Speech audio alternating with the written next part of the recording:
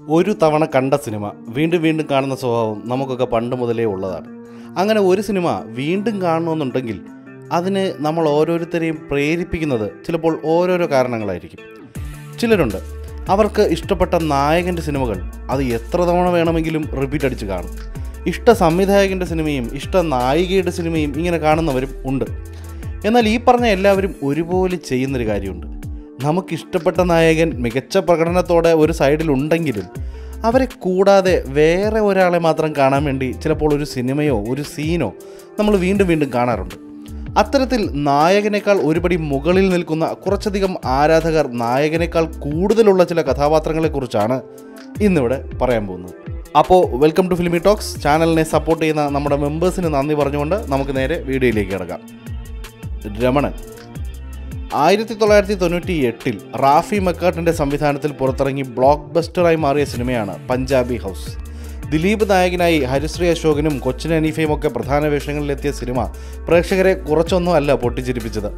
സിനിമയിലെ നായകൻ ദിലീപ് ആണെങ്കിലും പഞ്ചാബി ഹൗസ് എന്ന് കേട്ടാൽ നമുക്ക് ആദ്യം ഓർമ്മ വരുന്ന പേര് അത് രമണന്റേതാണ് സ്വന്തം മുതലാളി ഒരു ചെറ്റയാണെന്ന് തിരിച്ചറിഞ്ഞ് അത് മുതലാളിയുടെ മുഖത്ത് നോക്കി തന്നെ പറയാൻ ധൈര്യം കാണിച്ച രമണന്റെ ആ ധൈര്യം അത് ചില്ലറയൊന്നുമല്ല. രമണൻ ഉള്ളത് കൊണ്ട് മാത്രം പഞ്ചാബി ഹൗസ് വീണ്ടും വീണ്ടും കാണുന്നവരുണ്ട്. ഞാനൊക്കെ ആ കൂട്ടത്തിലുള്ളതാണ്.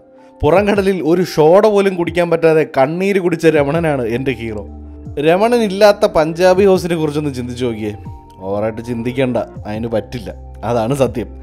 ട്രോളന്മാർ ഏറ്റെടുത്തതോടുകൂടിയാണ് രമണൻ പിന്നീട് കൂടുതൽ ജനകീയനാവുന്നതും ഇത്രയധികം ഫാൻ ഫോളോയിങ് ഉണ്ടാകുന്നതൊക്കെ ഈ രമണനെക്കുറിച്ചുള്ള മറ്റൊരു ഇൻട്രസ്റ്റിംഗ് ഫാക്റ്റ് എന്താണെന്ന് വെച്ചാൽ ശരിക്കും ആദ്യം രമണനായി അഭിനയിക്കാനിരുന്നത് ഹരിശ്രീ അശോകൻ ആയിരുന്നില്ല. അത് മലയാളത്തിലെ മറ്റൊരു ഹാസ്യ ഹാസ്യനടൻ ചെയ്യേണ്ടിയിരുന്ന കഥാപാത്രമായിരുന്നു. സംഭവം വിശദമായിട്ട് തന്നെ പറയാം. പഞ്ചാബി ഹൗസ് എന്ന സിനിമ റാഫി മക്കാട്ടിനെ ആദ്യം പ്ലാൻ ചെയ്യുന്നത് ജയറാമിനെ നായകനാക്കിയായിരുന്നു. അതിനെക്കുറിച്ച് ചെയ്ത വീഡിയോ മുകളിൽ ഐ ബട്ടണിൽ കൊടുക്കാം. അപ്പോൾ പറഞ്ഞു വന്നത് ജയറാമിനെ നായകനാക്കി പ്ലാൻ ചെയ്ത ഈ പഞ്ചാബി ഹൗസിൽ ഗംഗാധരൻ മുതലാളിയായി ഇന്നസെന്റും രമണനായി നമ്മുടെ ഹാസ്യ സാമ്രാട്ട് ജഗതി ചേട്ടനെയുമായിരുന്നു കാസ്റ്റ് ചെയ്തത്. എന്നാൽ പിന്നീട് ഈ പ്രോജക്റ്റ് നടക്കാതെ വരികയും പിന്നീട് ജയറാമിന് പകരം ദിലീപ് വരികയും ചെയ്തപ്പോൾ പ്രായം കൊണ്ടൊക്കെ കുറച്ചുകൂടി ദിലീപുമായി ചേരുന്നയാളെന്ന നിലയിലാണ് രമണനായി ഹരിശ്രീ അശോകനെ കാസ്റ്റ് ചെയ്യുന്നത്. അത് ഇനി പകരം മറ്റൊരാളെ നമുക്ക് മാറ്റി ചിന്തിക്കാൻ പോലും കഴിയാത്ത വിധം പുള്ളി ഗംഭീരമാക്കുകയും ചെയ്തു. റാഫി സംവിധാനം ചെയ്ത് ഫഹദ് ഫാസിൽ നായകനായി രണ്ടായിരത്തി പതിനേഴിൽ പുറത്തിറങ്ങിയ റോൾ മോഡൽസ് എന്ന സിനിമയിൽ രമണൻ ഒരു ഗസ്റ്റ് റോളിൽ എത്തുന്നുണ്ട്. ആ സിനിമയിലും ഏറ്റവും കൂടുതൽ കയ്യടി കിട്ടിയത് രമണന് തന്നെയായിരുന്നു. അതാണ് രമണന്റെ ഒരു റേഞ്ച് ദശമൂലം ദാമു. ബെന്നി പി നായരമ്പലത്തിന്റെ തിരക്കഥയിൽ മമ്മൂട്ടി നായകനായി ഷാഫി സംവിധാനം ചെയ്ത സൂപ്പർ ഹിറ്റ് സിനിമയാണ് ചട്ടമ്പിനാട് നായകനായി മമ്മൂട്ടി ഉണ്ടെങ്കിലും ചട്ടമ്പിനാട് നമുക്കൊക്കെ ഇത്രയും ഇഷ്ടമായതിന്റെ പിന്നിലെ ഒന്നാമത്തെയും രണ്ടാമത്തെയും മൂന്നാമത്തെയും ഇനി നാലാമത്തെ കാരണം പറഞ്ഞാലും അത് ദശമൂലം ദാമു എന്ന കഥാപാത്രമാണെന്നേ നമ്മൾ പറയും. എല്ലാവർക്കും വന്ന് ഒരുപോലെ കൊട്ടാനുള്ളൊരു ചെണ്ടയായിരുന്നു പാവം ദശമൂലം ദാമു ഈ സിനിമയിൽ എന്നാൽ ഇന്ന് ട്രോൾ ലോകത്തെ കിങ് ആണ് ദശമൂലം ദാമു. ദശമൂലം ദാമുവിനെ വെച്ച് ഒരു സ്ക്രിപ്റ്റ് എഴുതാൻ തിരക്കഥാകൃത്ത് ശ്യാം പുഷ്കരൻ ആഗ്രഹിക്കുകയും അത് പോയി ദാമുവിന്റെ സൃഷ്ടാവ് ബെന്നി പി നായരമ്പലത്തിനോട് ചോദിക്കുകയും ചെയ്തിരുന്നുവെന്നും എന്നാൽ അങ്ങനെ ഒരു സിനിമ താൻ തന്നെ എഴുതാൻ പോവുകയാണ് എന്ന മറുപടിയാണ് അന്ന് ബെന്നി ശ്യാമിന് നൽകിയതെന്നും ശ്യാം തന്നെ പറഞ്ഞ് നമ്മൾ കേട്ടതാണ്. സംവിധായകൻ ഷാഫിയും ദശമൂലം ദാമു വീണ്ടും വരുമെന്ന് പറഞ്ഞിരുന്നതാണ്. സുരാജേട്ടനും പല വേദികളിലും ഇത് പറയുന്നുണ്ട്. ദശമൂലം ദാമു പുറത്ത് വരുന്നുണ്ട്. അതായത് ഈ വർഷം തന്നെ ഷൂട്ടിംഗ് സ്റ്റാർട്ടാവും. ദാമുവിന്റെ ഒരു തിരിച്ചുവരവ്. അത് ആരാണ് ആഗ്രഹിക്കാത്തത്? അല്ലേ? എന്തായാലും അതും ഉടനെ സംഭവിക്കുമെന്ന് തന്നെ നമുക്ക് പ്രതീക്ഷിക്കാം. മണവാളൻ ആൻഡ് ധർമ്മേന്ദ്ര. പണ്ട് പുലികളായിരുന്ന ഉക്രി അഥവാ ഉദയകൃഷ്ണയുടെയും സിബി കെ തോമസിന്റെയും തിരക്കഥയിൽ ഷാഫി സംവിധാനം ചെയ്ത ജയസൂര്യ നായകനായി രണ്ടായിരത്തി മൂന്നിൽ പുറത്തിറങ്ങിയ സിനിമയായിരുന്നു പുലിവാൽ കല്യാണം. ജയസൂര്യ ആയിരുന്നു സിനിമയിലെ നായകൻ എന്ന് ചോദിച്ചാൽ പലപ്പോഴും നമ്മളത് മറന്നുപോയിട്ടുണ്ട് എന്നതാണ് സത്യം. അതെ എന്താ പേര്? ധർമ്മേന്ദ്ര. നല്ല പേര്. ഒരു മരണമാസ് കൂട്ടുകെട്ടിന്റെ രസമുള്ളൊരു തുടക്കമായിരുന്നു ആ ഒരു സീനിൽ നമ്മൾ കണ്ടത്. സിനിമയിൽ നമ്മൾ ജയസൂര്യ മറക്കാൻ കാരണമായതും ഇവിടം മുതൽ അങ്ങോട്ടുള്ള ഇവരുടെ രംഗങ്ങളായിരുന്നു. ഇവിടം തൊട്ട് അങ്ങോട്ട് സിനിമയിൽ മണവാളനും ധർമ്മേന്ദ്രയും പൂണ്ട് വിളയാടുകയായിരുന്നു. താൻ ഇത്രയേറെ കാണാൻ കൊതിച്ചിരുന്ന തന്റെ അച്ഛനെ ആദ്യമായി ഒന്ന് കണ്ടപ്പോൾ തന്നെ അച്ഛ എന്ന് സ്നേഹത്തോടെ വിളിക്കാൻ പോലും തുനിയാതെ താൻ പണ്ട് തന്റെ അമ്മയ്ക്ക് കൊടുത്ത വാക്ക് പാലിക്കാൻ വേണ്ടി സ്വന്തം അച്ഛന്റെ മുഖത്തടിച്ചവനാണ് ഈ മണവാളൻ.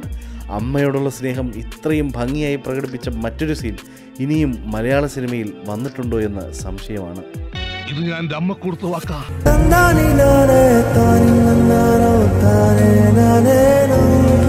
നമുക്കൊക്കെ എന്ത് പ്രശ്നം വന്നാലും അവിടെ ആദ്യം ഓടി പാഞ്ഞെത്തുന്നത് ആരാ? ആരാ? അത് ഫയർഫോഴ്സ് ആണ്. എന്നിട്ടും അങ്ങനെയുള്ള അവരെ നമ്മൾ എപ്പോഴെങ്കിലും ഒന്ന് വിളിച്ചു നിർത്തി അഭിനന്ദിച്ചിട്ടുണ്ടോ? ഒരു രണ്ട് ആശംസകൾ നൽകിയിട്ടുണ്ടോ? ഇല്ല. പക്ഷേ നമ്മുടെ മണവാളൻ അതും ചെയ്തിട്ടുണ്ട്. ഞാൻ നന്ദി രേഖപ്പെടുത്തിക്കൊള്ളുന്നു നന്മയുള്ള ലോകമേ. സ്വന്തം പേരിലും അതുകൂടാതെ മണവാളൻ ആൻഡ് സൺസിന്റെ പേരിൽ പോലും അയാൾ ഫയർഫോഴ്സിനോട് നന്ദി പറഞ്ഞിട്ടുണ്ട്. സ്വന്തം ജോലി ചെയ്യാൻ വേണ്ടി ഇത്രയേറെ പ്രോത്സാഹനം നൽകുന്ന മറ്റാരുണ്ട് ഈ ഭൂമിയിൽ വേറെ? ഇതുകൊണ്ടൊക്കെ കൂടിയാണ് ഷാഫിയുടെ തന്നെ എക്കാലത്തെയും വലിയൊരു ഹിറ്റായി പുലിവാൽ കല്യാണം മാറിയതും. അതിന് കാരണമായത് മണവാളനും കൂടെ നിന്ന ധർമ്മേന്ദ്രയുമാണ്. ദിഗംബരൻ. കാലം തെറ്റിയിറങ്ങിയ സിനിമ എന്നൊക്കെ വിശേഷിപ്പിക്കാവുന്ന ഒരു സിനിമയാണ്. സുനിൽ പരമേശ്വരന്റെ തിരക്കഥയിൽ പൃഥ്വിരാജ് നായകനായി വന്ന സന്തോഷ് ശിവൻ സംവിധാനം ചെയ്ത അനന്തഭദ്രം. രണ്ടായിരത്തി അഞ്ചിലാണ് സിനിമ തിയേറ്ററുകളിൽ എത്തുന്നത് അന്ന് നമ്മൾ മലയാളികൾ സിനിമയെ വേണ്ട വിധം പരിഗണിച്ചിരുന്നില്ല. എന്നാൽ ഇന്ന് ഈ സിനിമയ്ക്ക് വൻ ആരാധകരാണുള്ളത്. അതാണ് കാലം തെറ്റിയിറങ്ങിയ സിനിമ എന്ന് നേരത്തെ പറഞ്ഞത്. അനന്തഭദ്രം എന്ന് കേട്ടാൽ ഇന്ന് ആദ്യം ഓർമ്മ വരുന്നത് നായകൻ പൃഥ്വിരാജിന്റെ പേരല്ല. മറിച്ച് ശിവപുരത്തുകാരുടെയും കൂടാതെ മാടമ്പി തറവാട്ടുകാരുടെയും എല്ലാം തന്നെ പേടി സ്വപ്നമായിരുന്ന ദിഗംബരന്റെ പേരാണ്. ആ കഥാപാത്രം ചെയ്ത മനോജ് കെ ജയനെയാണ്. എന്ത് ഭംഗിയായാണ് മനോജ് കെ ജയൻ ആ വേഷം ചെയ്തിരിക്കുന്നത്? അദ്ദേഹത്തിന്റെ കണ്ണിന്റെ ആ ചലനങ്ങൾ വളരെ സൂക്ഷ്മമായ ചില നോട്ടങ്ങൾ ഒരു നൃത്തത്തെ അനുസ്മരിപ്പിക്കും വിധത്തിലുള്ള ഒരു ശരീരഭാഷ ഒരു സിനിമയിലെ വില്ലന്റെ ക്യാരക്ടർ സ്കെച്ചാണെന്നു പറഞ്ഞാൽ വിശ്വസിക്കുമോ വില്ലന് സ്വന്തമായിട്ടൊരു റൊമാന്റിക് പാട്ട് പോലും ഉണ്ടായിരുന്ന സിനിമയാണത്. ഒരു കംപ്ലീറ്റ് ദിഗംബരൻ ഷോ തന്നെയായിരുന്നു നമ്മൾ അവിടെ കണ്ടത്. മനോജ് കെ ജയന്റെ കരിയറിലെ ഏറ്റവും മികച്ച പെർഫോമൻസുകളിൽ ഒന്ന് കണ്ടതും നമ്മൾ ദിഗംബരനിലൂടെയാണ്. അതുകൊണ്ട് തന്നെ ഇന്ന് സിനിമയിലെ നായകന്റെ കഥാപാത്രത്തിന്റെ പേര് പോലും നമ്മൾ ഓർക്കുന്നില്ല. പറഞ്ഞ പോലെ പൃഥ്വിയുടെ ക്യാരക്ടറിന്റെ പേര് എന്തായിരുന്നു? ആ എന്തായാലും ഇന്നിപ്പോൾ ഈ സിനിമയെക്കുറിച്ച് ഓർത്താൽ എങ്ങും എവിടെയും ഒരു ദിഗംബരൻ മയം മാത്രം. അനന്തൻ നമ്പ്യാർ. മലയാളത്തിലെ തന്നെ എക്കാലത്തെയും മികച്ച ഒരു സീക്വൽ സി എ ഡി സീരീസാണ് നാടോടിക്കാറ്റ് ട്രയോളജി അതിൽ ആയിരത്തി തൊള്ളായിരത്തി എൺപത്തി എട്ടിൽ പുറത്തിറങ്ങിയ സിനിമയാണ് പട്ടണപ്രവേശം. ശ്രീനിവാസന്റെ തിരക്കഥയിൽ സത്യനന്ദിക്കാട് സംവിധാനം ചെയ്ത സിനിമയിൽ മോഹൻലാലും ശ്രീനിവാസനുമാണ് നായകന്മാരെങ്കിലും അവസാനം കപ്പ് കൊണ്ടുപോയത് അനന്തൻ നമ്പ്യാരാണ്. ഇത്രയും പേടിയുള്ളൊരു അധോലോക നായകൻ ഇതുവരെ മലയാള സിനിമയിൽ വേറെ ഉണ്ടായിട്ടുണ്ടാവില്ല ഉച്ചത്തിൽ ഒരു വലിയ ശബ്ദം കേട്ടാൽ പോലും ഞെട്ടിപ്പോകുന്ന ഒരു പാവം പാവം മധോലോക നായകൻ. അതാണ് നമ്മുടെ പ്രിയപ്പെട്ട അനന്തൻ നമ്പ്യാർ. ദാസനും വിജയനും ഒരു സൈഡിൽ സ്കോർ ചെയ്യുമ്പോൾ തന്നെയാണ് അനന്തൻ നമ്പ്യാർ നമ്മളെ ഇത്രയേറെ എന്റർടൈൻ ചെയ്തതെന്ന് ഓർക്കണം. അനന്തൻ നമ്പ്യാരുടെ ചങ്ക് ബടിയായ പ്രഭാകരൻ തമ്പിയെ ഒന്ന് സ്മരിക്കാതെ നമുക്ക് ഈ വീഡിയോ പറഞ്ഞു നിർത്താൻ പറ്റില്ല. പുള്ളിയും സിനിമയിൽ വേറെ ലെവൽ തന്നെയായിരുന്നു. ഷമി ശ്യാം പുഷ്കരന്റെ തിരക്കഥയിൽ നവാഗതനായ മധു സി നാരായണൻ സംവിധാനം ചെയ്ത സിനിമയായിരുന്നു കുമ്പളങ്ങി നൈറ്റ്സ്. സൗബിനും ഷെയ്ൻ നിഗവും നായകന്മാരായി എത്തിയ ഈ സിനിമയിൽ നമ്മൾ അവരെക്കാൾ ഓർക്കുന്നത് വില്ലനായി വന്ന ഷമ്മിയെയാണ്. വില്ലനായിട്ട് പോലും ഞാനാണ് ഈ സിനിമയിലെ ഹീറോ എന്ന് ആണയിടുന്ന സൈക്കോ ഷമ്മി. ഷമ്മി ഹീറോടാ ഹീറോ! അതെ പ്രേക്ഷകർക്കിടയിൽ ഷമ്മി ഹീറോയാണ് ഷമ്മി വില്ലനുമാണ്. അതാണ് ഷമ്മി. സ്ത്രീയുടെ ശബ്ദം ഒരിക്കലും തന്റെ വീട്ടിൽ ഉയർന്നു കേൾക്കരുതെന്ന് ആണയിടുന്ന മലയാളിയുടെ ഈ ആണധികാരത്തിന്റെ പ്രതിനിധിയാണോ ഷമ്മി? അതുകൊണ്ടാണോ ഷമ്മിക്ക് ഇത്രയേറെ ആരാധകരെ കിട്ടിയത്? അതും നമ്മൾ ആലോചിക്കേണ്ടിയിരിക്കുന്നു. കുമ്പളങ്ങി നൈറ്റ്സിലെ ഈ ഷമ്മി എന്ന കഥാപാത്രം എഴുതുന്ന സമയത്ത് എഴുത്തുകാരൻ ശ്യാം പുഷ്കരൻ സാക്ഷാൽ ധനുഷിനെയാണ് മനസ്സിൽ കണ്ടതെന്നും പക്ഷേ ധനുഷിനെ ഒരു പ്രൊഡ്യൂസർ എന്ന പെർസ്പെക്റ്റീവിൽ നോക്കുമ്പോൾ തനിക്ക് അഫോർഡ് ചെയ്യാൻ കഴിയാത്തതുകൊണ്ട് കുറച്ചുകൂടെ ചീപ്പായ ഞാൻ തന്നെ അപ്പോൾ ആൾ റോൾ ചെയ്യുകയായിരുന്നുവെന്നും ഫഹദ് ഫാസിൽ തന്നെ ഈ ഇടയ്ക്ക് തുറന്നു പറഞ്ഞിരുന്നു. ഒന്ന് ആലോചിച്ച് നോക്കിയേ ഷമ്മിയായി ധനുഷാണ് വന്നിരുന്നതെങ്കിൽ എന്താവുമായിരുന്നെന്ന്? പവനായി. സത്യനന്ദിക്കാട് ആയിരത്തി തൊള്ളായിരത്തി എൺപത്തി ഏഴിൽ സംവിധാനം ചെയ്ത സിനിമയാണ് നാടോടിക്കാറ്റ്. സിനിമയിൽ നമ്മളെ എല്ലാവരും ഒരുപോലെ തന്നെ ചിരിപ്പിച്ചിട്ടുണ്ട്. എന്നാൽ പവനായിയുടെ കഥാപാത്രം സിനിമയിൽ നമുക്ക് തന്ന കിക്ക് അത് വേറെ ലെവലായിരുന്നു. ശാസ്ത്രീയ രീതികളെ മാത്രം ഫോളോ ചെയ്യുന്ന അതിപ്രശസ്തനായ ഒരു പ്രൊഫഷണൽ കില്ലറായിരുന്നു പവനായി. മറ്റൊരു പ്രത്യേകത എന്താണെന്ന് വെച്ചാൽ പവനായി സിനിമയിൽ ഒറ്റ കോമഡി പോലും പറഞ്ഞിട്ടില്ല എന്നുള്ളതാണ്. എന്നിട്ടും ഈ ഒരു കില്ലർ നമ്മളെ ചിരിപ്പിച്ചതിന് കൈയും കണക്കുമില്ല. വളരെ സീരിയസ് ആയി അഭിനയിച്ചിട്ടുള്ള എന്നാൽ കാണുന്നവർക്ക് ഓർത്തോർത്ത് ചിരിക്കാവുന്ന കോമഡിയാണ് പവനായി അവിടെ ഭംഗിയായി ചെയ്തു വച്ചിരിക്കുന്നത്. ഇതുപോലെ വെറും അഞ്ച് മിനിറ്റ് കൊണ്ട് ഇത്രയും ആരാധകരെ ഉണ്ടാക്കിയ മറ്റൊരു കഥാപാത്രത്തെ പറയുന്നവർക്ക് എന്നാൽ പിന്നീട് ഈ പവനായിയുടെ നല്ല പേര് നശിപ്പിക്കുന്ന തരത്തിൽ ഒരു രണ്ടാം ഭാഗം ക്യാപ്റ്റൻ രാജു തന്നെ സംവിധാനം ചെയ്തിരുന്നു. ആ സിനിമയെക്കുറിച്ചുള്ള വീഡിയോ ഐ ബട്ടണിൽ കൊടുക്കാം. കണ്ടിട്ടില്ലാത്തവർ ഒന്ന് കണ്ടു നോക്കണം. അപ്പോൾ നമുക്ക് അടുത്ത ആളിലേക്ക് പോവാം.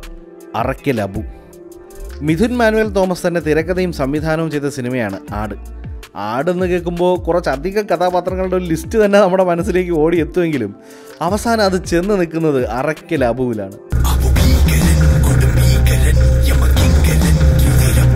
ഇത്രയും ടെററായ ബീജിയം വേറെ ഏത് ഗുണ്ടയ്ക്കാണുള്ളത് ബീജിയമൊക്കെ മരണമാസ് തന്നെ. ഇത്രയും മരണമാസമായ ഒരു ഇന്റർവ്യൂക്ക് ശേഷം ഇങ്ങനെ കോമഡി ആയിപ്പോയ കൊടും ഭീകരനായ ഒരു ഗുണ്ട മലയാള സിനിമയിൽ വേറെ ഉണ്ടാവാനിടയില്ല. ഉണ്ടെങ്കിൽ തന്നെ അത് അബുവിനോളം പോകുന്നതൊന്നുമല്ല എന്നതും ഉറപ്പാണ്. ആട് ടൂവിലും സ്കോർ ചെയ്തത് അറക്കിൽ അബു തന്നെ ആയിരുന്നു വരാനിരിക്കുന്ന ആട് ത്രീയിലും അത് ആവർത്തിക്കുമെന്ന് ഉറപ്പാണ്. അബു എന്ന സുമ്മാവ സൈജു കുറുപ്പ് ഗംഭീരമാക്കിയ ഈ കഥാപാത്രത്തിന് ചെറിയ കുട്ടികളാണ് കൂടുതലും ഫാൻസ് ആയിട്ടുള്ളത്. സൈജു കുറുപ്പിന്റെ കരിയർ തന്നെ മാറ്റിമറിച്ചൊരു കഥാപാത്രം കൂടിയായിരുന്നു ആടിലെ അറക്കൽ അബു.